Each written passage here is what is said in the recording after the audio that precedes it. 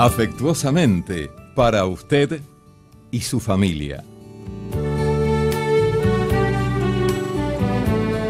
Hola, ¿qué tal amigos? ¿Cómo está la familia?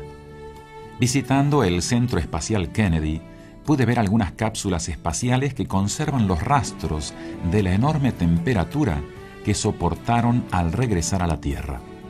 ¿Recuerdan esos minutos de expectativa cuando la cápsula hacía su peligroso reingreso a la atmósfera terrestre?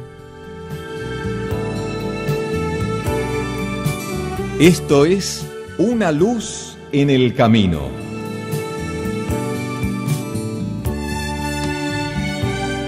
Cinco minutos de inspiradora reflexión para usted y su familia. Con el licenciado José Plesia.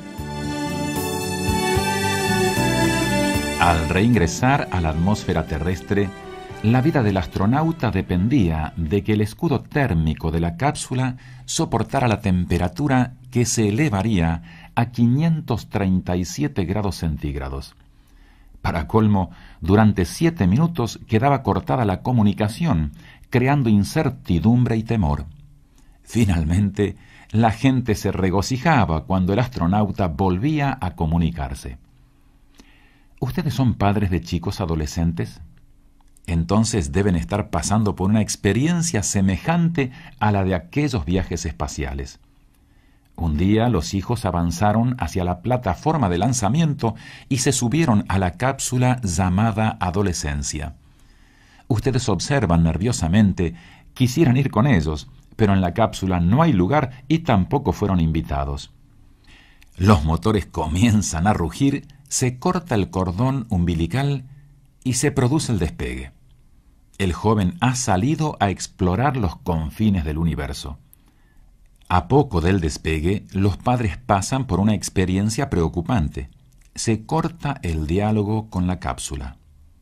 El mismo niño que antes hablaba tanto y hacía miles de preguntas, ahora redujo su vocabulario a unas pocas frases.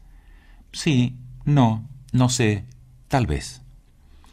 ¿No habrá algún modo de evitar este período de apagón y las demás tensiones asociadas al viaje de la adolescencia? Con muchos jovencitos no es posible evitarlo. Ocurre hasta en las familias más amorosas e inteligentes. De todos modos, no se desanimen. Después que superan el período crítico de la adolescencia, se restablece la comunicación. Lo importante en esa etapa difícil es que puedan usar los recursos que aprendieron en los años de preparación y que recuerden que cuando necesiten ayuda pueden solicitarla a los que quedaron en la base fuera de la cápsula. Mientras tanto, podemos ofrecerles apoyo, amor incondicional y elevar nuestras oraciones para que sean protegidos por Dios y no pierdan el rumbo.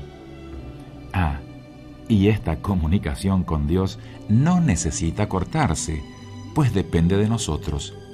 Y los pedidos serán contestados, se lo aseguran unos padres que siguen orando por sus cuatro hijos. Si el tema que acaba de escuchar ha despertado su inquietud, tenemos un valioso complemento de este programa. Se trata del curso por correspondencia titulado Felicidad en el Hogar una verdadera ayuda para los problemas del diario vivir.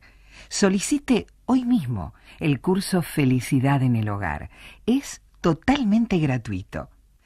Y para vos, chica o muchacho, tenemos el moderno curso Tiempo Joven. Tanto el curso Felicidad en el Hogar como el curso Tiempo Joven son un obsequio.